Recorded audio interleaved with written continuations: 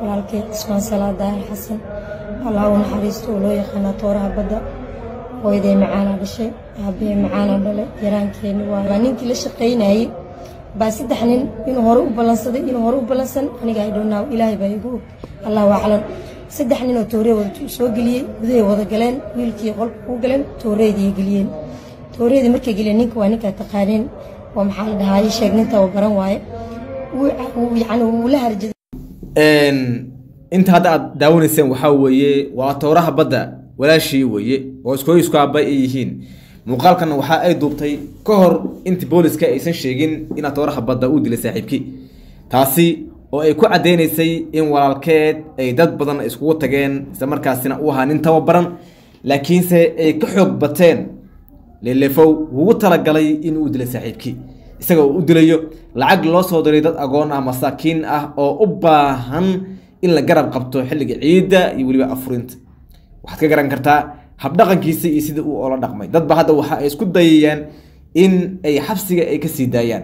Xogaha la helayo ayaa waxa ay ku tusinayaan in ay kuleeyihiin waan waan baan samaynaynaa waa la sii deen ninkan wax dembi a ma gelin khalad bay baashi mataqana yay ahayd iyo wax la mid waa waxyaabaha soomaalida rogay ayay mataqaanay ka mid tahay arrintan iyada marka muuqaalkan waxaan idinkula wadaagi doonaa haddii eebba ay yiraahdo hadalkan nuxurkiisa ee gabadha ay ka hadlaysay ee ah qaabka uu u dilay iyo xilliga uu dilay oo nin kasta mataqaana u wada ogaa laakiin iyada ay si gooni ah ee u sharxayso iyo weliba isaga laftiisa qiraalkiisii dad badan baa diidan oo leh.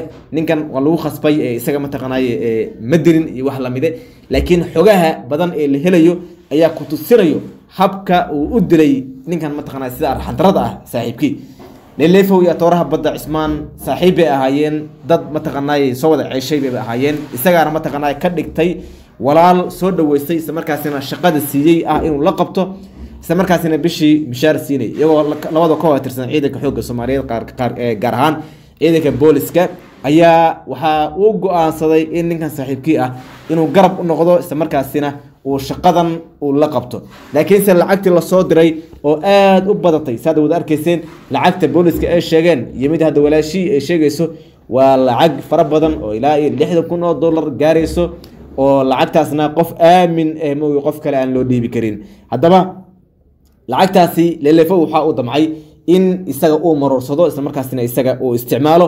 Halkaa cismaan uu ka diiday uu kana horyimid oo yihi maya lacagtani dad masaakiineba loogu talagalay iyagaana loo soo diray. Annaga waxaan ku leenahay keliya wixii shaqadeena ku saabsan laakiin wax kale oon kaga leenahay. Ma jirto saas daraadeed walaalow haddii aadan shaqadan aadan qaban karin banaankaasi iskaga mar. Laakiin lelefo arrintaasi waa ka beediiday isaga oo yiri lacagtan inaga ayaana lagu soo diray lacagtana aad bay u badan tahay dadka masaakiinta ee loo soo dirayna. Dad cayiman weeye oo mataqaana masaakiin anaa ma quudin karno. Saas daraadeed lacagta markay u yartahay lacag toban kun oo dollare aniga mataqaana iga sii.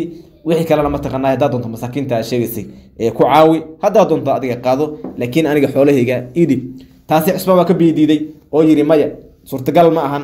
Hantidan wax anaga aan leynahay ma ahane. Waa hanti dadweyne iyagaana loogu talagalay laguna caawinayay inaga shaqo keliya ma wax kalan ku leenahay ma jirto? Saas daraadeed wax aan kaa siinaya malaha gabadha waxa ay sheegtay walaashii ah cismaan in arrinta markii cismaan dhaafay uu iska tegay lelefow isla markaasina saddex rag ah uu soo watay oo meeshan uu layimid mindiyana wato. Markii uu u soo galay lelefowna uu mindida ku bilaabay ninkana nin tababaran bu intuu booday buu mataqana ka booday mididii taasi waxay keentay marka in markaa idan bistoolad inuu u dabamariyo oo kaga dhuftay madaxa saddex xabadood halkaasina uu ku dhintay. Isla markaasina intuu u qaaday xabadihii meesha yaalay bistooladii mididii u horreysay in uu saaray guri dhaladiisa. Isla markaasina booliska u wacay uu ku yidhi dhaawac waan hay soo gaara. Ninkaasna waa dhintay arrintana sidaasi ayuu mataqaana ayuu ku soo gabagabeeyey oo sida booliska lafteeda ay caddeeyeen iyo hadalka gabadha oo ka sii horeeyey waxay ku tusinaysaa inay iswaafaqayaan amaba ay iskaag dhow yihiin. Haddaba arrinta meesha hadda mataqaana wax marayo. Ayaa waxa ay tahay in arrinta odayaal ay galayaan oo ay doonayaan in la farsameeyo oo ay dhaheen dilkan ma ahayn bareere. Wuxuu ahaa dil kama dil kama haddii uu ahaana ninka digad baa laga bixinayaa waa in la sii daayo oo mataqaanay aan la dilin aanan la xukumin. Laakiin dowladdu waxay ku dadaaleysaa in maxkamadda la keeno isla markaasina dembiyadii ninkan uu lahaa in lagu soo ogo haddii dembiyadaasi ay mataqaanaa sax noqdaan dilkana uu noqdo dil bareer ah oo u geystay. Marka iyada ah haddii ay isku raacaan labadii qoys ay ka soo kala jeedeen inay diyo kala qaataan diya kala qaadanaya waa sidai diinteena na haddii ay dhahaan maya dil baan rabnaana dee waxay noqonaysaa lelefow in tiirka la geeyo isla markaasina halkaas birta lagaga aslo dad badan ba hadda waxay isleeyihiin lelefow odayaashu waxay ku dadaalayaan inay xabsi ka soo bixiyaan isla markaasina banaanka ay keenaan si mataqaanay arrintaasna loo damiyo xogaha shilimaad iska bixiyaan isla markaasina halkaasi ay ku dhammaato. Laakiin arrinta halkaasi waa ka guda weyntahay waayo ninkan kow wuxuu ahaa nin qaran buu ahaa laba nin wuxuu ahaa bulshada saacidi jiray. Saddex bulshadii oo dhan ba mataqaana daawanayso. Dhibaatada halkaas ka dhacday la wada arkayey muuqaaladoodina la wada baahiyey in marna aanan lagu sii dayn karin oo keliya in si hoose loola baxo iyo waxyaala la mid laakiin waxaan ognahay soomaaliya inay ka jirto rag iyagoo dambiye waaweyn geystay qaraxyo geystay in hoos laga sii daayo isla markaasina dad masaakiina oo wax dembiya aan galabsan in la soo xiro oo booskoodii lagu bedelo. Waa waxyaabaha inta badan dadka inta badan ay aad ay ula yaabaan oo qofka maskiinka ah ee soomaalida soomaalida hore ay u dhaheen miskiin baa miska la fuulo leh. Oo loola jeedo qofka miskiinka ah saa doonta ayaad ka yeeli kartaa maadaama uusan hanti usa kaa celiyo uusan haysan. Haddaba arrinka lelefow iyo ninka la yihahdo atooraha badda eebaha unaxariistee arrin waxay noqotay ugub ah. Taasi oo aan arkayna maalmihii u dambeeyey dhalinyaro yar yare oo inta badan sheegayo inay isku xilqaameen inay dadka masaakiinta ah inay caawiyaan.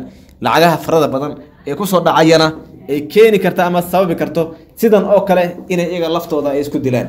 Waa haddii qofka uusan iimaan lahayn haddii dadka ay iimaan leeyihiin sideedaba dadka waxa isku dila ama rag iska horkeena waa lacag lacagta laguma heshiiyo inta badanna rag waa isku dila taasi marka sabab bay u noqon kartaa in rag badan oo saaxiibo ah in iyaga laftooda ay birta iska aslaan eebaha ka badbaadiyo.